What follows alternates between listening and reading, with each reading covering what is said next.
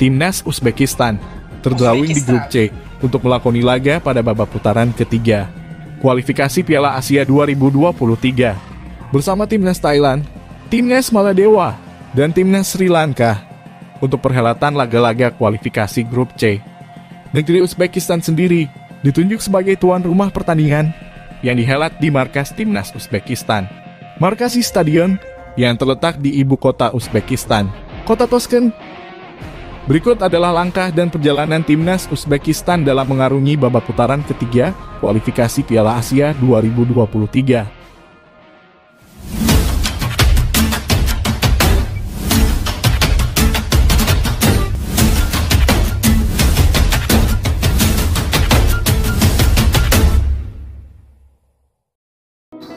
Satu, Uzbekistan versus Sri Lanka. Di match pembuka timnas Uzbekistan berhadapan dengan timnas Sri Lanka. Pada laga ini, timnas Uzbekistan berhasil membungkam timnas Sri Lanka dengan skor 3-0.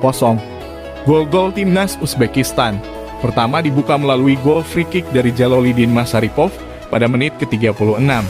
Kemudian diikuti gol free kick tipuan dari Doston Hamdanov pada menit ke-48 serta ditutup oleh gol sepakan dari Faruk Saifiev di menit ke-60. Setelah lalu lalang mengoceh-oceh bola di area pertahanan Sri Lanka.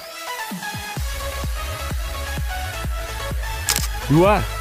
Maladewa versus Uzbekistan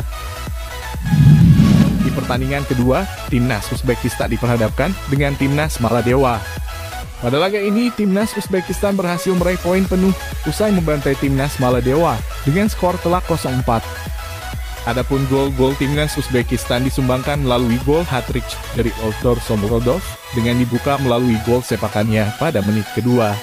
Lalu ada gol keduanya melalui sepakan dari luar kotak penalti timnas Maladewa pada menit ke-51. Kemudian gol sepakannya lagi pada menit ke-80 setelah berhasil mencuri bola dari pangkuan back timnas Maladewa. Dan terakhir, gol timnas Uzbekistan ditutup melalui sentuhan dari Oston Urunov pada menit ke-86.